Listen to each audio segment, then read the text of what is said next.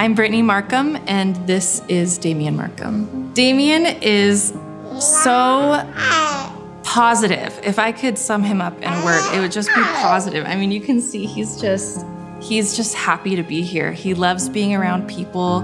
He's such a light to everybody that meets him.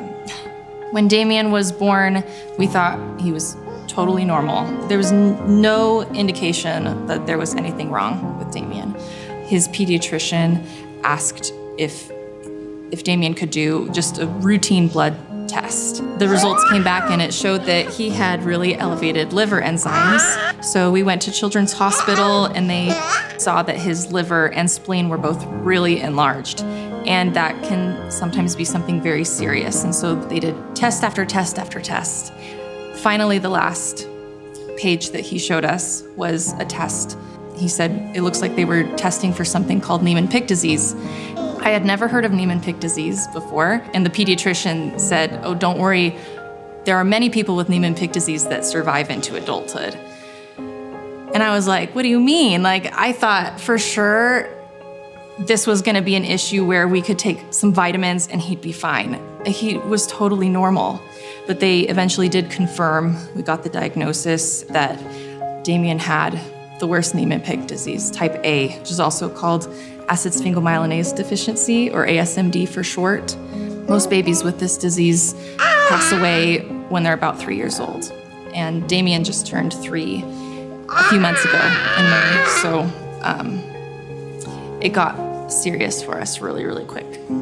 We very quickly found out that Damian is the only person in California I believe the only person on the West Coast entirely with this disease. Being part of the rare disease community now, it's become more and more apparent what resources rare diseases need that they don't get. And most of the funding um, that any of these rare diseases get are from parents who want to try and save their kid. And with this disease being so fast, there's there's not many. um, there's not many that are advocating for this disease. The life-threatening aspect of this disease is Damian's neurodegeneration.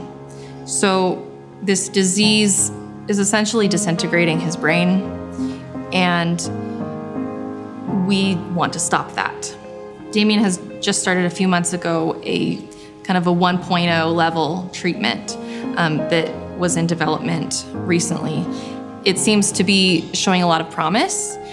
And the Wylder Nation Foundation's medical team and research team are developing the 2.0 version, which is already proving in their lab to be a lot more effective. They're at a point now where money would make the difference between whether Damian has access to it or not. I asked them and I pressed them how much money could speed this up how much money could make it so that Damian could have a much higher chance of being able to, to get it.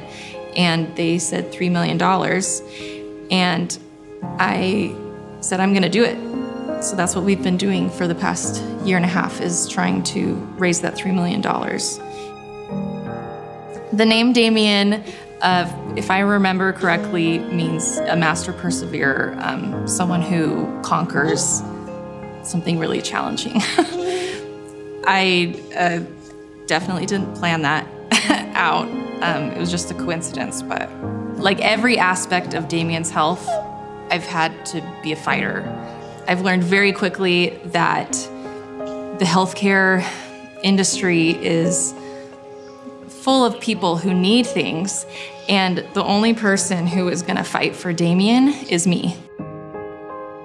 One of the most amazing things about this whole experience and sharing our story specifically on social media is we have so many um, supporters all over the United States, and I get really touching messages often um, from people who I've never met in person doing uh, bake sales for us and garage sales and posting on their own social medias. It's really blown me away. It's changed my life. It's so amazing to see how good people are. And people are inherently good. And we see that every single day. I think that's part of why a lot of people continue to follow our story because they're also encouraged by seeing how good people are. Through all of this, I have just been so grateful to have the testimony that families are forever. It brings me a lot of comfort to know that Damian and I are always going to be connected. I feel like he has this disease for a reason.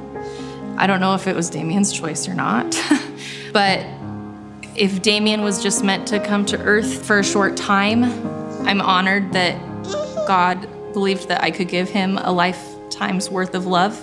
But I also know Heavenly Father knows how determined I am and how relentless I am uh, to keep my baby around. And I think we'll do it.